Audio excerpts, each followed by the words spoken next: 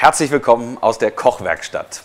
Gastro neu erleben, das ist unser Ziel und wir möchten euch inspirieren. Ganz konkret geht es dabei um klassische Gerichte, die man anders mit modernen, zeitgemäßen Trends neu interpretieren kann. Hinter mir in der Kochwerkstatt geht es schon heiß her, die Vorbereitungen laufen und äh, sie laufen für das, was jetzt vor der Tür steht. Es ist der Sommer.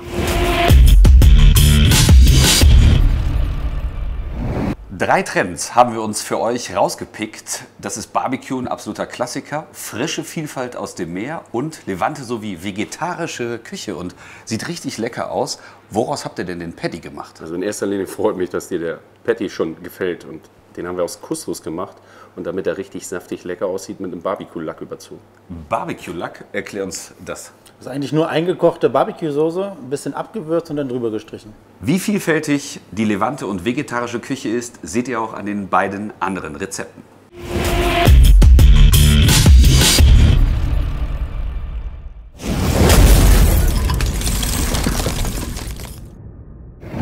Das Urlaubsflair eurer Gäste auch auf euren Tellern zu präsentieren, ist sicherlich auch einer der Trends des Sommers. Das geht am besten mit frischer Vielfalt aus dem Wasser.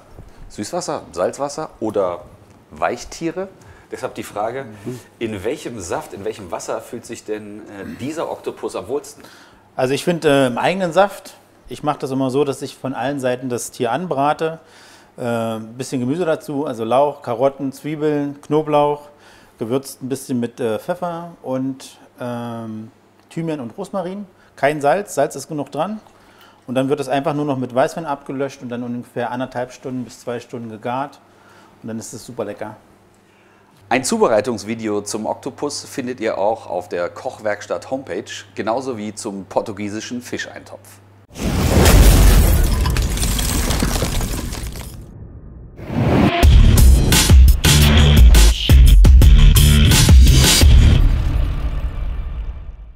Der mit Abstand beliebteste Trend des Sommers ist nach wie vor das Barbecue.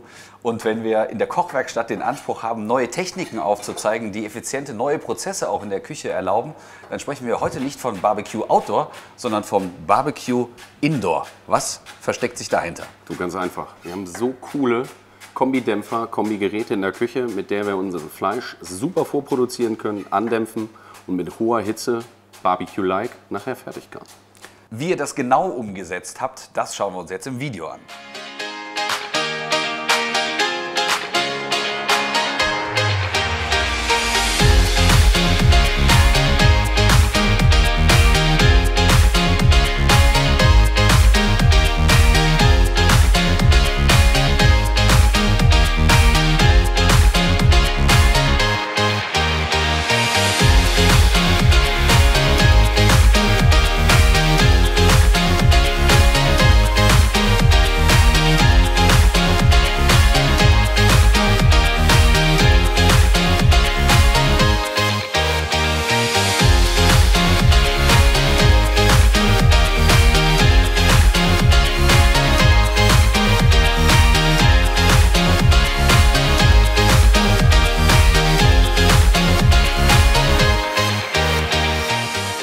Alle aktuellen und auch früheren Rezepte findet ihr auf der Homepage metro.de slash Kochwerkstatt. Und während hier im Hintergrund schon für die nächsten Inspirationen Herbst und Winter vorbereitet wird, wünschen wir euch erstmal einen grandios gastronomischen Sommer.